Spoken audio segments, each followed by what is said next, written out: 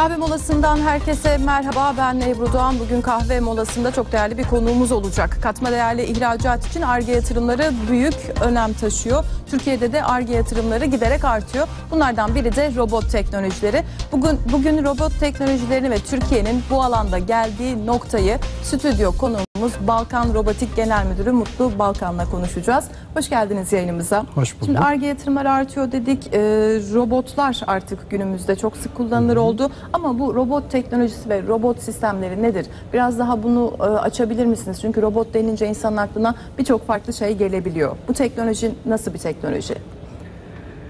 Ee, robot teknolojisi e, 1960'lı yıllarda söz edilmeye başlanmış bir teknoloji.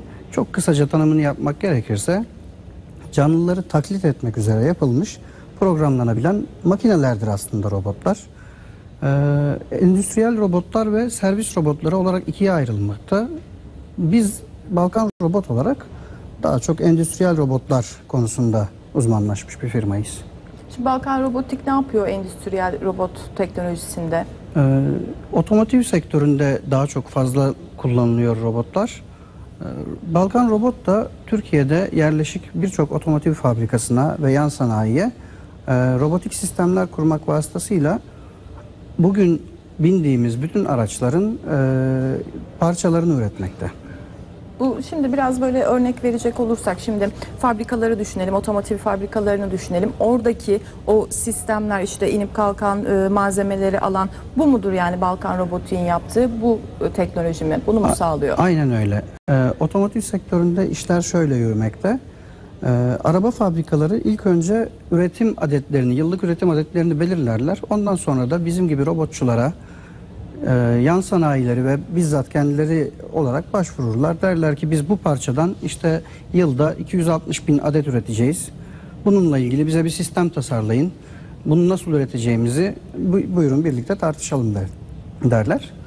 E, Sonunda biz de e, birçok simülasyon programını ve hesap yöntemlerini kullanaraktan onlara bir sistem tasarlar götürürüz. Uygun görüldüğü takdirde robotik süreç başlamış olur açıkçası. E, İki parça kaynatılacak olabilir. Bir parça bir yerden alınıp bir yere koyulacak olabilir. Arabanın camı takılacak, kapısı takılacak, koltuğu yerleştirilecek olabilir.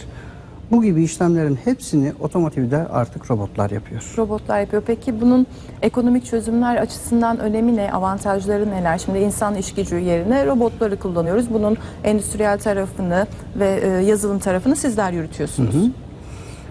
Ekonomi açısından şöyle söylemek lazım. Ee, insanları robot bir korkutuyor bazen. Çünkü üretimde robot kullanmak belki de istihdama e, kötü yansıyacak gibi bir bakış açısı var. Fakat maalesef tam tersi oluyor. Yani hiç böyle e, görmüyoruz.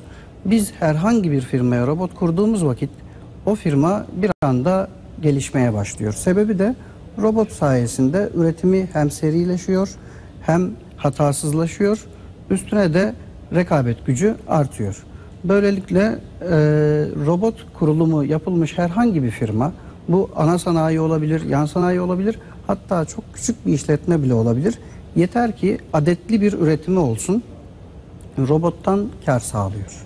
Şimdi burada o zaman istihdam konusunda da şöyle düşünmek lazım. Robot teknolojisi geliştikçe bu teknolojiyi yapacak, üretecek de insana ihtiyaç var. Kesinlikle Bu şekilde öyle. bir istihdam sağlamış olacak. Hem öyle hem de otomotiv sektöründen örnek vermek gerekirse yani şu anda herhangi bir araba fabrikasına gittiğimizde 8-10 bin kişinin çalıştığını görürüz. Bu kişileri e, robotlar, bin tane de robot vardır bu firmada. Bin robotu dışarı çıkardığımızda belki 50 bin kişiye istihdam sağlayacaktık ama hiçbir çıkan araba birbirinin aynı olamayacaktı. Peki orada istihdamı daralttığını görüyoruz. Nerede genişletiyor? Dediğiniz gibi robotları kurmak için insanlar lazım, geliştirmek için insanlar lazım, satmak için insanlar lazım. Bunun haricinde fazla araba üretildiğinde e, arabaları satmak için insanlar lazım. Onlarla ilgili birçok ticari gelir elde edilebiliyor. Anlayacağınız robot her anlamda katkı sağlıyor ekonomiye. Peki Balkan Robotik olarak e, geliştirdiğiniz bir ürün var mı? İhracat yapıyor musunuz? Balkan Robotik 2011 yılında kuruldu. Ee, Mutlu Balkan olarak bakarsak e, 2005'ten beri robot sektöründeyim. 2003'te bir robot e, yapma macerasıyla başladı bütün mevzumuz. Ee, duvara tırmanan bir robot yaptık hocamızın isteğiyle üniversitede. Ondan sonra çevremizde e, robotçu mutlu olarak tanınmaya başladık. Arkasından robot firmalarında çalışıp 2011'de e, kendi firmamızı kurduk. Firmamız e, Ulutek Teknoloji Geliştirme Bölgesi'nde ve ARGE tabanlı bir firma. E, bir tasarım ofisimiz var. Ayrıyeten e, bir de atölyemizde e, geliştirme faaliyetlerimizi yürütmekteyiz. 2014-2015 e, yıllarında özellikle bir buçuk yıllık bir proje ile bir robot geliştirdik e, ve Kore'ye bunu ihraç ettik. İhraç ettiniz. 2000 e, ilerisi için 2017 demeyeyim de 2016 değerlendirmesi de isteyecektim sizden 2017 hedefleri ama ileriye dönük Balkan Robotik olarak ne yapmak istiyorsunuz? Balkan Robotik robot teknolojileriyle başladı ve Allah'a şükürler olsun çok iyi gidiyor işlerimiz. Ee, bu geliştirdiğimiz robota Türkiye'de de müşteri bulabilmek ümidindeyiz. Ee, onun dışında yurt dışına da sadece Kore ile kalmayıp çeşitli ülkelere ihracat yapmaya başladık. Ee, bu sene itibarıyla 2016 sonunda inşaat sektöründe de ilerlemeye başladık. Bu anlamda Türkiye'de birkaç proje yaptık. Arkasından e, çok yakın bir zamanda yaklaşık bir, bir buçuk aydır da Kuveyt'te işlerimiz başladı. İhracat hedefleriniz artıyor. Şu an Evet. Kore ile başladınız. Ardından da devam edeceksiniz. Ben tekrar e, diğer sektörlere geçmeden önce yine robot teknolojisine dönmek istiyorum. Dünyada robot teknolojisi ne durumda? Türkiye bunun neresinde? Biraz önce konuşmamın başında söylediğim gibi robotlar servis robotları ve endüstriyel, Endüstriyel robotlar, robotlar. olarak ikiye ayrılıyor temelde. Biz endüstriyel robotlarda hızla ilerliyoruz. Türkiye robotize oluyor bir anlamda.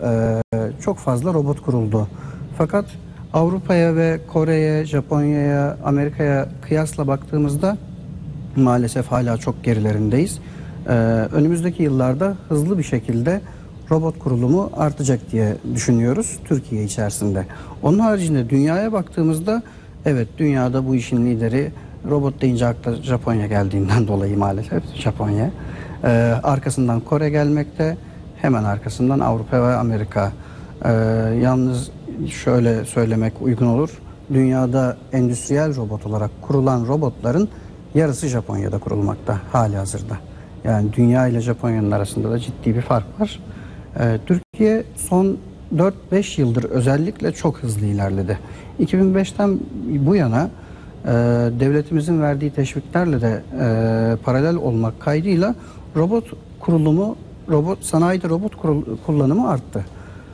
Ee, özellikle son 2-3 yıldır müthiş derecede gaza basmış durumda. Türk sanayicisi artık robottan korkmuyor.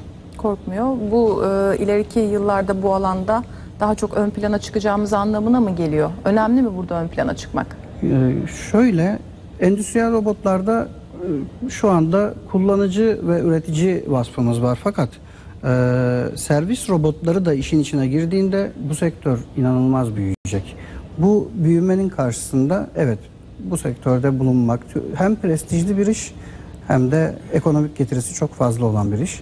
Malum bir cep telefonunun gramı aşağı yukarı 20 lira, 12 lira, 15 liradan satılıyor.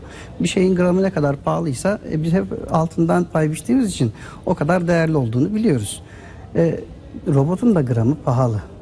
Bir şeyin gramı pahalı olunca da haliyle ülkeye getirisi de çok daha fazla oluyor. Yalnız Servis robotları konusu dünyada daha belki de tam oturmuş olduğunu söyleyemeyiz. Ticareti yapılamaz durumda şu anda. Fakat önümüzdeki 5-6 yıl içinde her noktada hizmet robotları önümüze çıkmaya başlayacak. Şu anda işte birçok AVM var memleketimizde.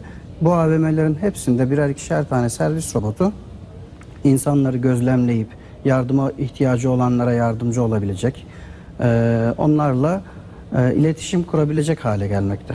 Artık onlardan mı yardım isteyeceğiz? E, öyle, evet. Belki bu biraz korkutucu da olabiliyor. Yani insana benzeyen bir başka bir şeyin insana yardım ediyor olması insanda bir tedirginlik de oluşturmuyor değil açıkçası. Evet şimdi bir insan bir mekanik olacak karşımızda. O biraz tedirgin ediyor ama bu e, toplumsal hayatı da kolaylaştıracak bir şey sanırım. Kesinlikle. Çünkü şöyle düşünün. e, bir robot alışveriş merkezinde geziyor. Evet. Yüz tanıma özelliği var. ve alışveriş merkezinde gezinirken birçok fotoğraf, birçok video kaydediyor, çekiyor. Evet. Allah muhafaza etsin. Herhangi bir arkadaşımız 3 yaşında bir oğlunu kaybetti, kızını kaybetti. Kameralar sabit kameralar sadece belli açıları çekiyor malum. Robotlar onu her açıdan robot gezinip duruyor işte orada. Yani o robota sorulup bu bulunabilecek Peki. ya da acil durumlar e, tespit edilebilecek durumda. Tabii Peki. işin bu Süremiz de bitmek üzere Sayın Balkan. Çok teşekkür ediyorum değerlendirmeleriniz için. Stüdyo konuğumuz Balkan Robotik Genel Müdürü Mutlu Balkan'la robotik teknolojisini konuştuk. Kahve molası bugünlük burada sona eriyor. Yarın tekrar görüşmek üzere. Hoşçakalın.